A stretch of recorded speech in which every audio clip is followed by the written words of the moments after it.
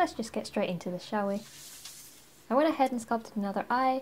I had so much fun with the brown one, I just had to do it again, but this time in blue. On my paint palette today, I've got burnt sienna, light blue, ultramarine blue, grey, and Payne's grey.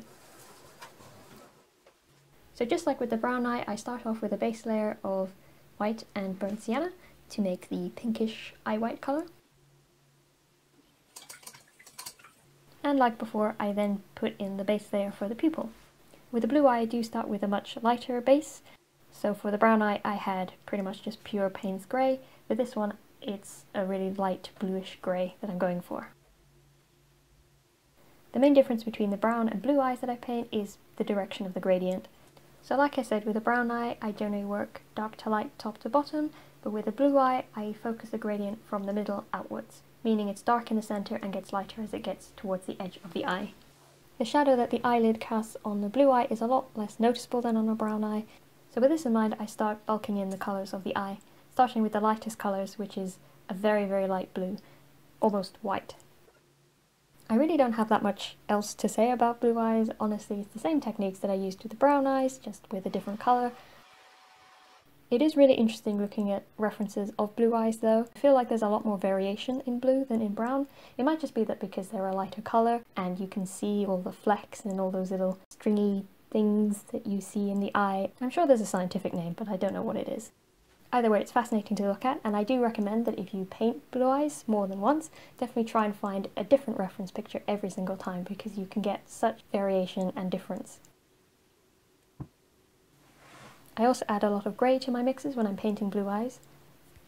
I find the blue that you get straight out of a tube of most acrylics can be a little bit too blue, a little too bright, too much like a children's crayon basically. So you really want to tone that down just a little bit, and the grey paint just helps to make that look a little bit more natural.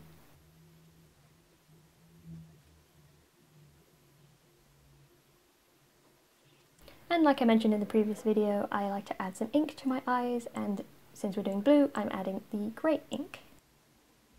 I don't use quite as much ink with the blue eyes as I do with the brown, but it's still a nice glazing layer to add. And then again, I just rinse and repeat and add more layers and more layers and blend it all out until I'm happy.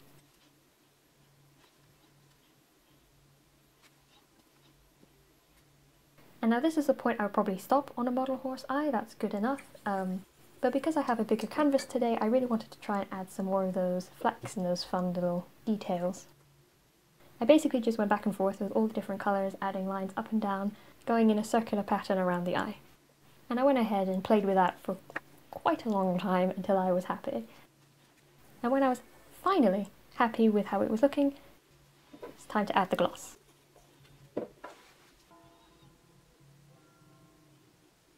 Again, just blobbing it on there, making it smooth, letting it dry, adding more layers, and we're done. Or almost done. I had a few people asking if they could have a copy of the eye medallion as practice for themselves, so I went ahead and cast this new sculpture, which I spent a little bit more time and I was a little happier with than the previous one. And I'm really happy with how the mold turned out, it's some of the cleanest casts I've ever made. So if you're interested in having an eye of your own to practice with, all the links and things will be down in the description below. But that about covers it. Thank you so much for watching and I'll see you in the next one.